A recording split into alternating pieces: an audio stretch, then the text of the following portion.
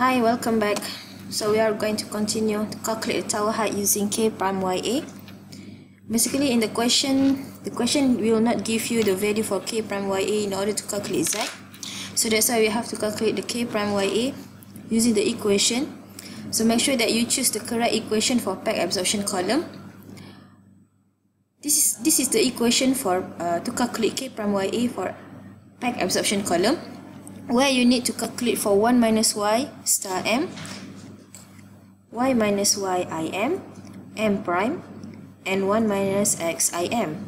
1 minus y i m and 1 minus x i m is actually you have calculated before, previously, before you solve for a and b. So you just use the last trial to calculate 1 minus y i m and 1 minus x i m where for m prime value is actually the value for the gradient of equilibrium slope which is in this question is 1.186 k prime ye and k prime xa is get from the question.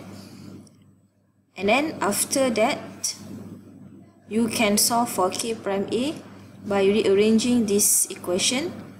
And after you get k prime ya again substitute back into the equation but before that you have to complete to solve for y minus y star m and find in the appendix the equation to calculate y minus y star m is by using this equation where you have to use the value for y1, y2, yi star and y2 star. Again, y1 and y2 you can get from the material balance. And y1 star and y2 star you can get from graph. Let me show you how to get the y1 star and y2 star from the graph. Y1 star you can get from the graph is from p1 p1 you just drag the line go to equilibrium line without going through the slope. So from p1 straight to equilibrium line go to left you will get the value for yi y1 star and for y2 star is from point 2 go to equilibrium line and this is your the value for y2 star which is 0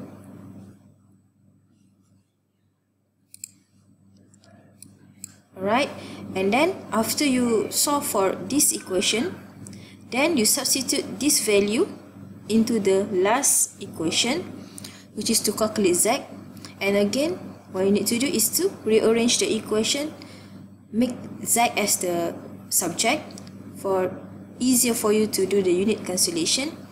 The VAV you have calculated before VAV where you have to make sure that VAV is the unit is standardized with the uh, mass transfer coefficient.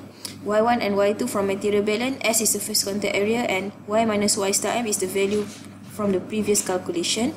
Then you will get the z and the z is uh, and and the z is again which is almost same with with 2 meter and next to calculate height using hg and ng number of transfer unit.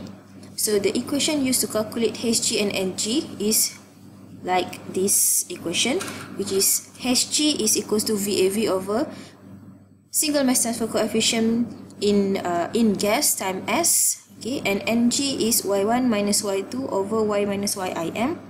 These two equation has been appended in the appendix. Just solve for Hg. VAV is the V average K prime Y is from question, S is from question. Then we'll get one value for HG, number of transfer height. And NG, number of transfer units. Y1 and Y2, basically you, you have already know the value. And Y minus YIM is the value that you have calculated before, which is in this equation, Y minus YIM. Is this equation. Just take this number, substitute into this equation, then you will get this number. And Z is equals to hg times ng you just multiply these two values and you will get the z. Which is z is almost same value which is 1.946 which is almost 2 meters.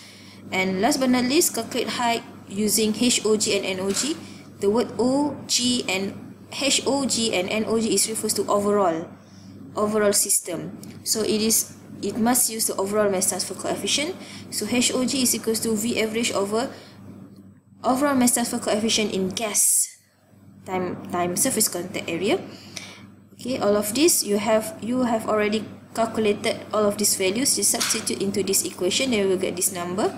And then multiply with NOG. And then finally, Z is equal to HOG times NOG. Again, you will get the value is almost same, which is around 2 meters. That's all for uh, solving uh, the, the question from question number 5, chapter 3. Thank you.